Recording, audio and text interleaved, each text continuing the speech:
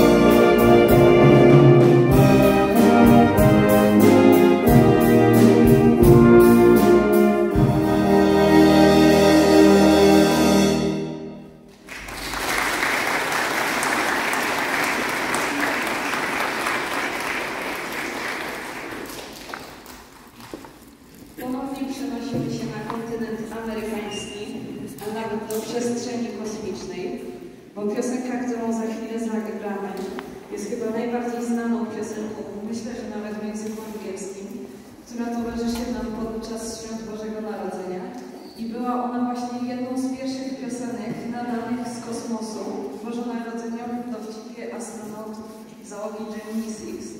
Bo wysłali oni raport do kontroli misji, w którym mówili, że krąży nad nimi jakaś dziwna satelita, a żeby ją opisać, na przemyconej harmonice ustnej zagrali właśnie Jingle Bells.